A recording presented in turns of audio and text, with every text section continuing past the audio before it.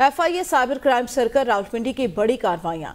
जनसी हरासगी और माली फ्रॉड में मुलविस दो मुलजमान को गिरफ़्तार कर लिया। मुलजिम मोहम्मद असलम को मियाँ चनू जबकि नकीबुर रहमान को रावलपिंडी से गिरफ़्तार किया गया। अनवार अब्बासी इस मुतलिक तफसलात देंगे। जी अनवार।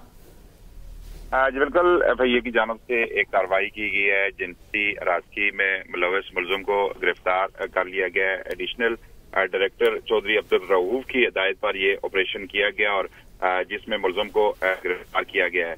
मुलजम के मुतलक ये बताया जा रहा है कि इसने गिरफ़्तार मुलजम मोहम्मद असलम और नकीब रमान जो हैं, ये सब इंस्पेक्टर बशीर खान और मुलजम मोहम्मद असलम को मियाँ चन्नू से गिरफ़्तार किया। मुलजम ने खुद को शिकायत कुंदा का रिश्तेदार ज़ाहिर करते हुए पाँच लाख रुपए हथियाए। इसके अलावा मुलजम ने मजकूरा रकम मुख्तलिफ़ बैंक अकाउंट्स में ट्रांसफ़र भी करवाई। इसके अलावा मुलजम जाली बैंक डिपॉजिट रसीदें भेजकर सादा लोग शहरियों को जाल में फंसाता रहा। दूसरी तरफ़ कार्रवाई में सब इंस्पेक्टर सारम अली ने मुलजम नकीब और रहमान को रावलपिंडी से गिरफ़्तार किया। मुलजम चाइल्ड पोर्नोग्राफी मवाद बनाने के, शेयर करने में मुलवस था। मुलजम ने मुतासरा बच्चे को होटल में बुलाकर काबिल एतराज़ वीडियोज़ भी बनाई।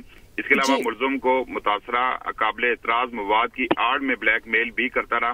मुलजम ने काबिल एतराज़ तस्वीर और वीडियो सोशल मीडिया पर भी वायरल की। पुलिस के कब्जे से मोबाइल फ़ोन और काबिल एतराज़ मवाद भी बरामद कर लिया गया।